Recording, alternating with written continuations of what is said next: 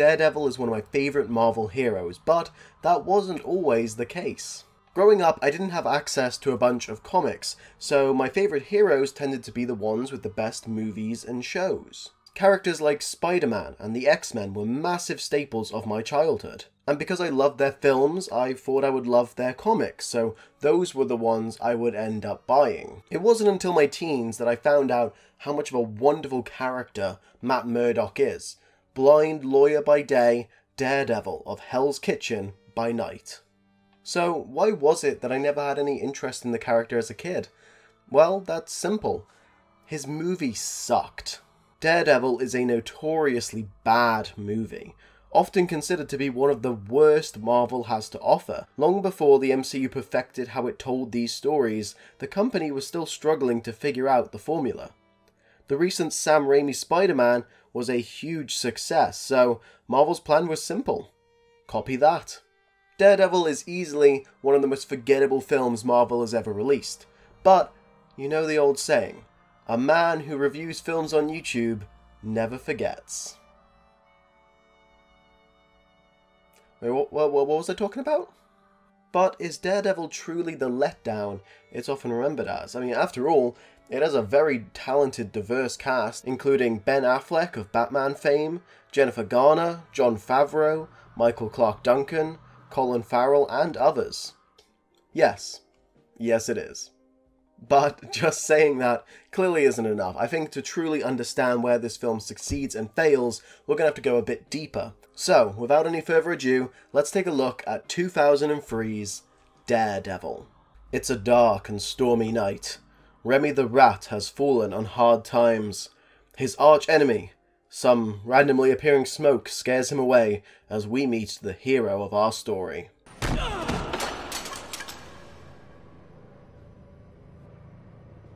Through a prolonged flashback, we see the accident that blinded the young Matt Murdock, and also how I guess the toxic chemicals somehow gave him bat vision? His father, who's a well known local boxer, refuses to take a fall for the wheelchair guy from Breaking Bad, which eventually results in his death, leaving his young son a blind orphan. Flash forward an unknown amount of time, and we see Matt in a losing battle against the forces of evil. Not as the titular daredevil, though, but as a simple lawyer persecuting a criminal with powerful connections. Of course, the crook gets off. No. Of course, the crook gets off scot free, but that won't stop our hero from seeking his own form of justice. That night, Murdock decides to uh, pose in his room for for uh, some reason. This is a really weird montage. Take a look.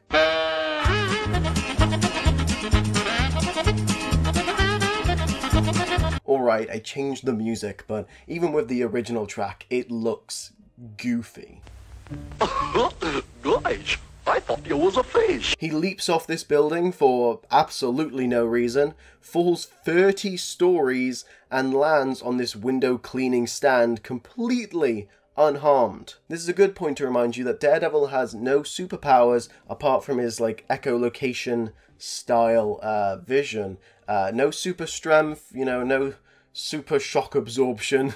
Daredevil himself looks alright. The costume is certainly instantly recognizable as the character, but being from 2003, it still manages to look cheap and fake.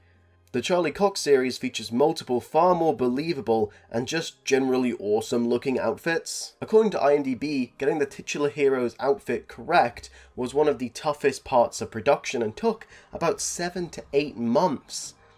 And they still got it wrong.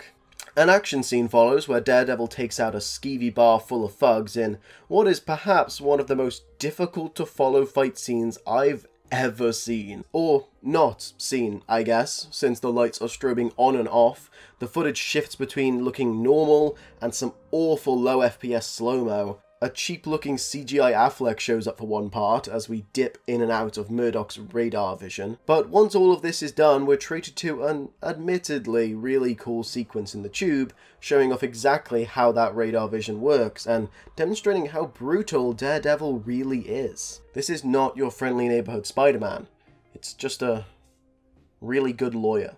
We're introduced to Jon Favreau's Foggy Nelson, and he does a pretty solid job here as the comic relief and partner in law to Affleck's Murdock. The scene does a good job at remaining funny while establishing the bond these characters have. Prior to shooting, Ben Affleck made a point of reading every single Daredevil comic as preparation for his role.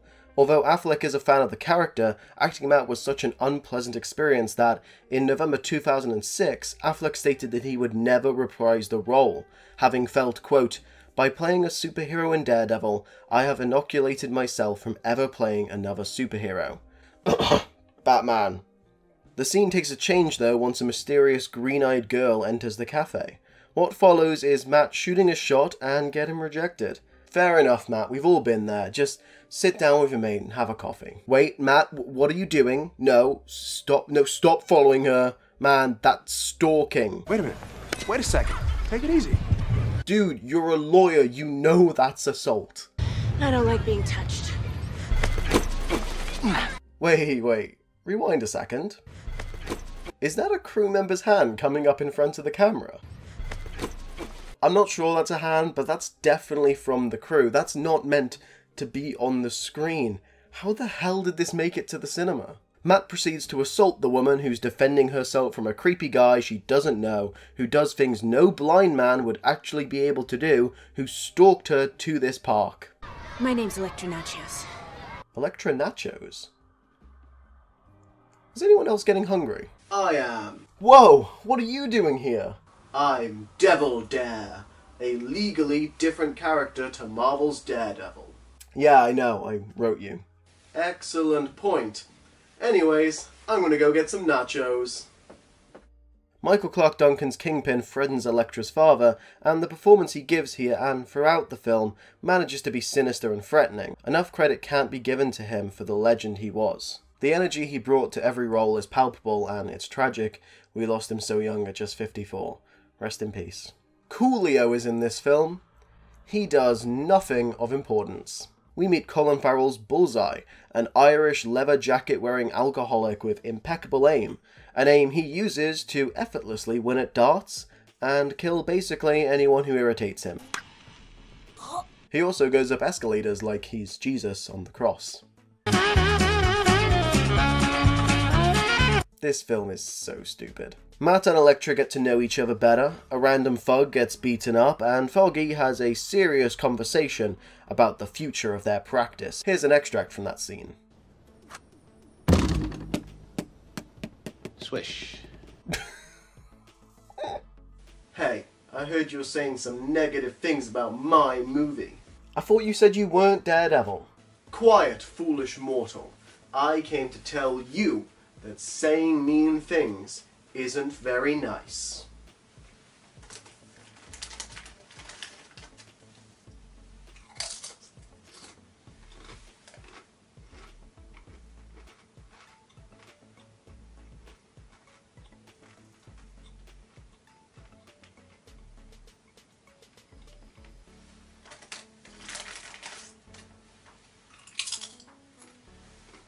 Oh, is, is that it?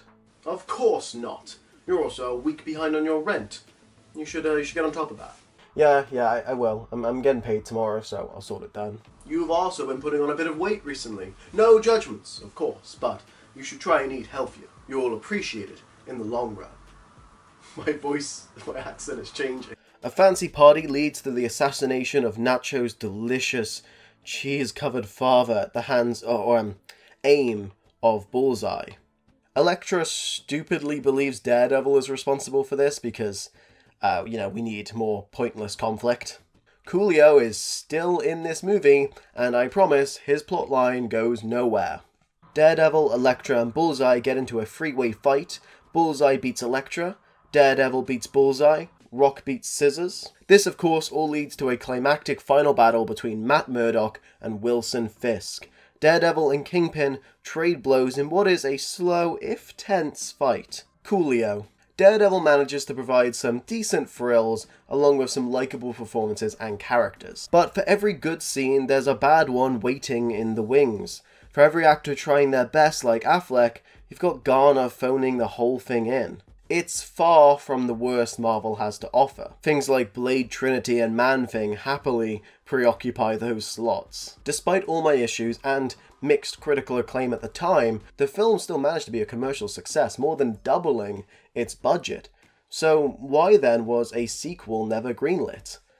Well, it kind of was. In 2005, 20th Century Fox released Elektra, a spin off starring Jennifer Garner's titular character who first appeared in Daredevil. It was a critical and commercial flop, and this effectively dashed any hopes of a Daredevil 2, not that anyone was really hoping for one. Fans of the character would have to wait more than a decade before they truly got to see a great adaptation on the screen. While the 2015 Netflix Daredevil series is certainly not perfect, it provides a far more cohesive and refined experience than the film ever could. If you want to dive into the character more, Brian Michael Bendis and Frank Miller's runs on the comics are both pretty superb, although uh, there's basically no bad comic run of Daredevil. And the 2015 Charlie Cox series is, of course, another great way to go. They retell a lot of the storylines from those comics um, and it's really strong. And of course, with recent events in Hawkeye and Spider Man No Way Home, might be an idea to catch up on Daredevil's past. But I can't possibly recommend you make this your first experience with the character. For all the die-hard Marvel fans out there, then you're certain to find enough enjoyment from this film to make your way through it. But not only is it far from the best Marvel film, it's also not even the best live-action Daredevil. Uh, so, Devil Dare, you got anything to add? Nope. Coolio. Next week, I'm going to be taking a look at the original Scream movie in preparation for the brand new Scream 5, aka Scream. But I'm going to be looking at Scream, not Scream. So I'm going to be watching Scream, not the new Scream. I'm going to be watching old Scream. So make sure to watch Scream before my Scream video releases, uh, but not the new Scream. You just need to watch the old Scream. Though I will be talking about some of the sequels to Scream and maybe even mention a little bit about Scream. So if you want to watch my Scream video, you should probably watch Scream, Scream 2, Scream 3, Scream 4, and Scream. But I'm only going to be talking about Scream.